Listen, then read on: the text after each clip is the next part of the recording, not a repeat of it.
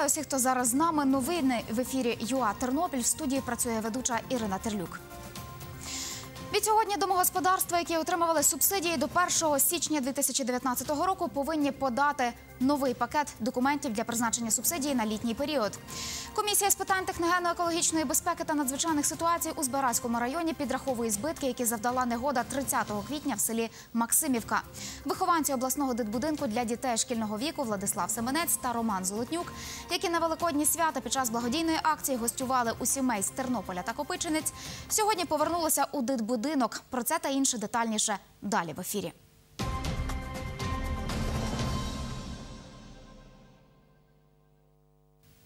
В Україні ввели штраф за несвоєчасну оплату комунальних послуг. За даними Держстату, українці заборгували за комуналку 50 мільярдів гривень. І від сьогодні, окрім самого боргу, доведеться платити ще й пеню. До того ж, послуги можуть бути обмежені або припинені. Якщо споживачі не сплатять борг протягом 30 днів після офіційного попередження. Штрафи мали з'явитися ще у червні минулого року. Проте уряд відклав їх запровадження. Як нараховуватимуть пеню у матеріалі наших київських колег. Сергій два роки тому виїхав з України за кордон. Там працює фітнес-тренером. В Києві у чоловіка залишилася двокімнатна квартира. Розповідає, за цей час накопичився борг за комунальні послуги. Платить я перестал. Платити я перестав десь з літа 2016 року. З того моменту набігло приблизно десь 55 тисяч гривень. Чому перестав платити за комуналку? Сергій пояснює так. Работа стала низкооплачиваемой. Робота стала низькооплачуваною. Тобто, крім того, що ціни піднялися, у мене якось так склалося, що дохід різко зменшився. Борг українців за комунальні послуги становить 50 мільярдів гривень. Розповідає експерт з енергетичних питань Геннадій Рябцев. Посилається на дані Держстату. Також називає повну суму заборгованості з урахуванням штрафів. населення і промислові споживачі заборгували постачальникам е, енергетичних товарів і житлово-комунальних послуг понад 70 мільярдів гривень. Закон про житлово-комунальні послуги, ухвалений наприкінці 2017 року, набув чинності сьогодні. В ньому, зокрема, прописано на заборгованість за комуналку буде нараховуватися пеня. Пеня визначається законом прямо в розмірі 1,1% за один день прострочки від суми заборгованості. Якщо борг за комунальні послуги становить 5 тисяч гривень, один день прострочення коштує 50 копійок, місяць 15 гривень, три місяці 45. Пеня не може бути більшою від самої суми заборгованості. Її можна не платити, якщо затримується заробітна плата або ж субсидія. Пеня не нараховується на старі борги, розповідає Альона Бабак. Їх вона радить реструктуризувати. Комунальні підприємства починають процес і заклик до реструктуризації старої зборгованості з кожним споживачем окремо. Звертайтесь до ваших абонентських відділів тих підприємств, у яких у вас виник борг, і пропонуйте, що ви готові до договору реструктуризації заборгованості. Пеню нараховуватимуть за новими договорами, які споживачі від сьогодні мають укласти з постачальниками послуг. Вони дають мешканцям вибір, з якою компанією їх підписувати, каже Бабак. Власники квартир і нежитлових приміщень в багатоповерхових будинках самостійно зможуть вибирати собі, хто буде обслуговувати їхні будинки. Чи водоканал, чи теплоенерго, чи газовики, чи хтось інший буде обслуговувати їхні внутрішньобудинкові мережі. Договір із постачальником послуг від імені усіх мешканців може укласти ОСББ або ж сусіди разом можуть підписати один колективний договір. Також власник квартири може окремо укласти індивідуальний договір. Христина Бельськіта, Владислав Тягун, Валентин Грінберг та Сергій Тищенко. Новини Від сьогодні ціна на газ знизиться на 300 гривень. Про це 24 квітня на засіданні уряду сказав прем'єр-міністр Володимир Гройсман. 22 квітня у Нафтогазі повідомили, за дорученням Кабміну встановлюють нову вартість 8 тисяч 247 гривень за тисячу кубометрів. Тернополянка Ганна Безноса розповіла нашим кореспондентам, скільки зекономить, якщо платитиме за газ менше. Тернополянка Ганна Безноса отримує пенсію 1688 гривень. Жінка переписує показники лічильника газу. Розповідає, за квітень випалила 51 куб газу, а це за старими тарифами 435 гривень 54 копійки. То якщо навіть тих 51 куб помножити е, на 8, 25, то буде мали 420. Каже, якщо газ подешевшає, зможе зекономити частину грошей. За рік виходить 183 гривні економії. То дуже добре. Так як для мене інваліда, як в мене пенсія 1688 гривень, 183 гривні за газ, то дуже добре. Я собі можу за то щось придбати, чи якісь ліки, які мені необхідні вкрай. На попередньому засіданні уряду прем'єр-міністр Володимир Гройсман поставив ультиматум голові Нафтогазу Андрію Коболєву знизити ціну на газ або голову правління енергетичної компанії звільнять. В понеділок Нафтогаз України заявив, що Нафтогаз мене почув. Вони зменшують з 1 травня на по-моєму, 300 гривень ціну на тисячу кубів. Я думаю, що це не останнє зниження. Ринки показують зниження. І будемо далі ми дивитись на те, як відкрита Нафтогаз буде діяти по відношенню до українських громадян. Торік у жовтні уряд підвищив ціну на газ для населення більш як на 20% – до 8,5 тисяч гривень за тисячу кубометрів. Так виконував зобов'язання перед міжнародним валютним фондом, встановлював ринкові ціни для всіх споживачів. За зиму ціни на газ та нафту на ринку знизилися. 22 квітня в Нафтогазі повідомили, за дорученням Кабміну встановлюють нову вартість – 8247 гривень за тисячу кубометрів. Це дешевше ніж було. Відповідно до зобов'язань перед МВФ, 1 травня газ мав подорожчати майже до 10 тисяч гривень за тисячу кубометрів, а наприкінці року ця цифра мала перевищити 12 тисяч гривень. Любов Гадомська, Соломія Струс, Андрій Бодак. Новини.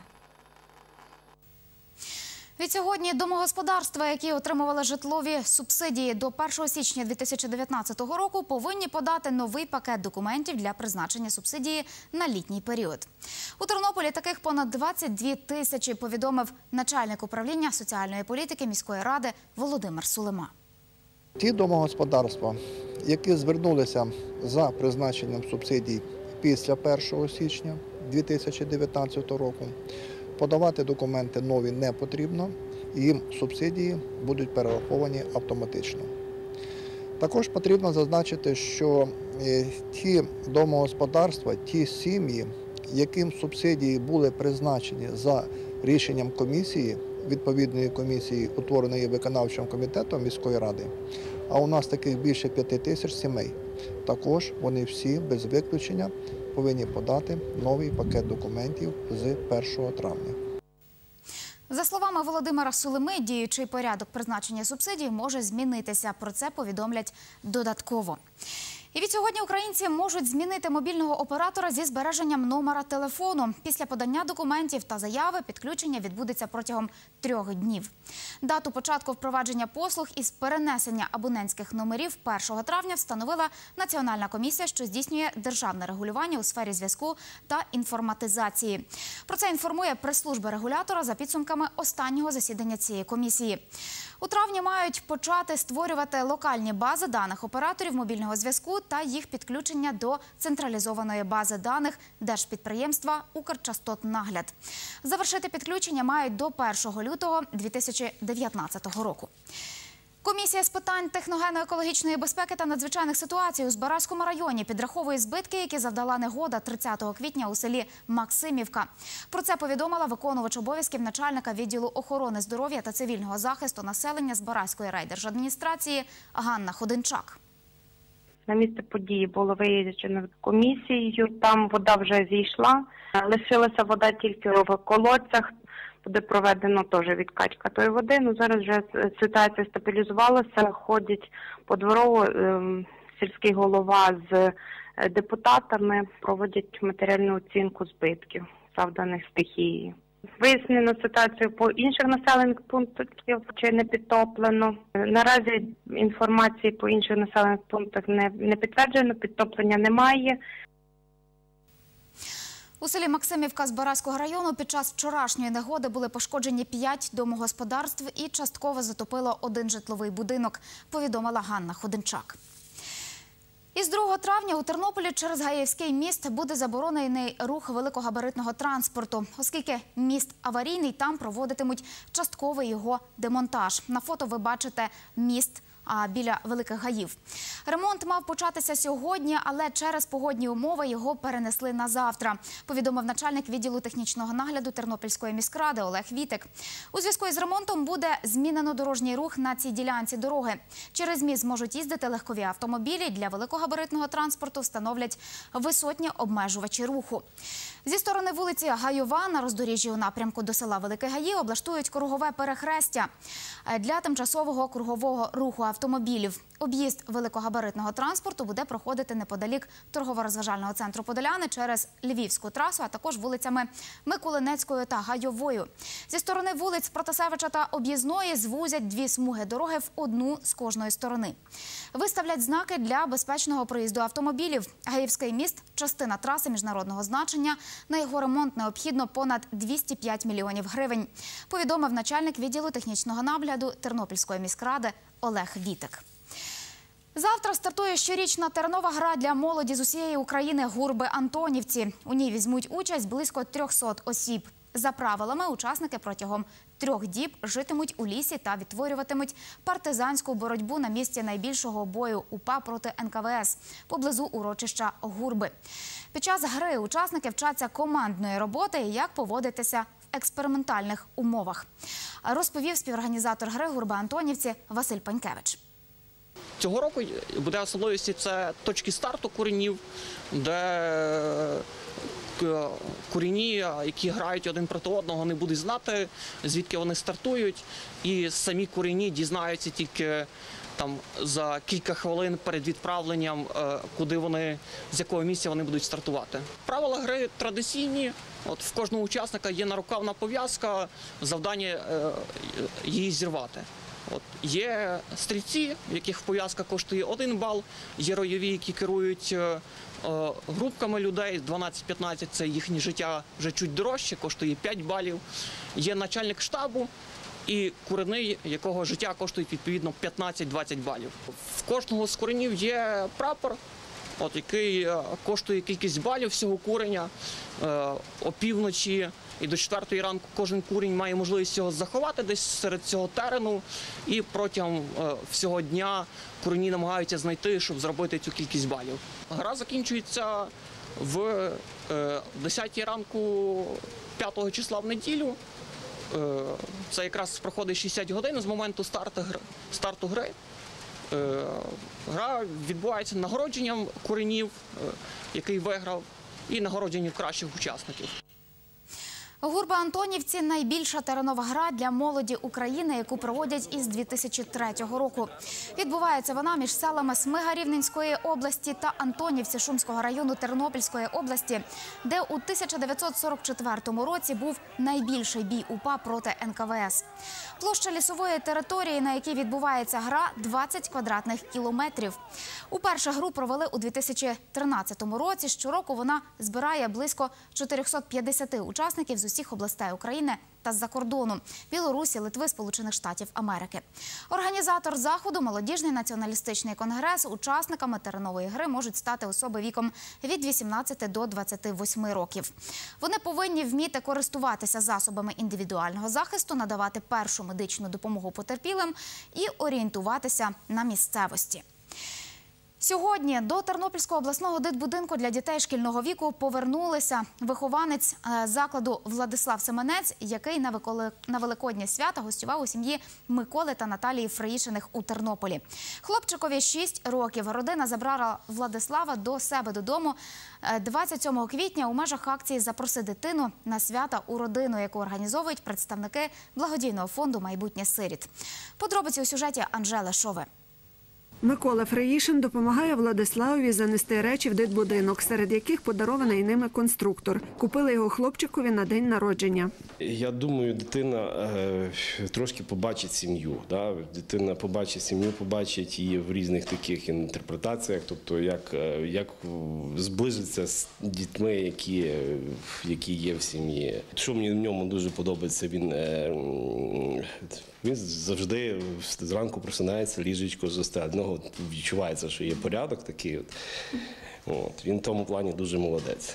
Владислава Семенця подружжя Фреїшиних забирає до себе на свято уже втретє. Хлопчикові подобається. Ми там гралися, дивилися мультики. гралися машинками. Ми ходили до церкви. Вихователь Надія Обухівська каже, у Тернопільському обласному дитячому будинку для дітей шкільного віку 11 вихованців. Показує кімнату Владислава Семенця. Хлопчик до нас е, поступив з малютки, поступив він минулого року. Е, В понеділок йому виповнилося 8 років. Він проживав в малютці, а зараз попав до нас. У нього є старша сестра, яка навчається в 9 класі. І опікується ним, допомагає з ним, читаємо, пишемо, рахуємо. Важливо для дитини побачити, що таке сім'я і, які в сім'ї традиції і звичаї. Координатор програми «Запроси дитину на свята у родину» благодійного фонду «Майбутнє сиріт» Ірина Вакалюк розповіла. Якщо говорити про цьогорічну акцію, ми маємо 11 діток, які гостювали в семи сім'ях нашої Тернопільської області. Це маємо 6 діток із Бережанської школи інтернату, а так само 5 діток із Тернопільського дитячого будинку, які взяли участь в акції. Анжела Шова, Василь Панчук. Новини. І сьогодні до цього ж дитбудинку повернувся восьмирічний Роман Золотнюк, вихованець закладу, який провів великодні свята у Копичинцях. У гостях в сім'ї Василиків на цих фото ви бачите хлопчика на Пасху у Копичинцях. Родина Василиків забрала Романа до себе додому 26 квітня. Акцію Запроси дитину на свята у родину проводять третій рік поспіль. За цей період родини Тернопільщини брали на Пасху більше 30 дітей з інтернатів. Благодійний фонд Майбутнє сиріт створений 26 квітня 2006 року чотирма випускниками вишів Тернополя, колишніми вихованцями Коропецької школи інтернату для дітей-сиріт. Вони вважають своїм головним завданням морально та матеріально підтримувати дітей-сиріт та дітей, позбавлених батьківської опіки. Про це повідомив засновник і голова фонду Андрій Назаренко. І на цьому у мене все. Наші новини також переглядайте на нашій сторінці у Фейсбук ЮА Тернопіль, на нашому сайті та на нашому Ютуб каналі. На все добре.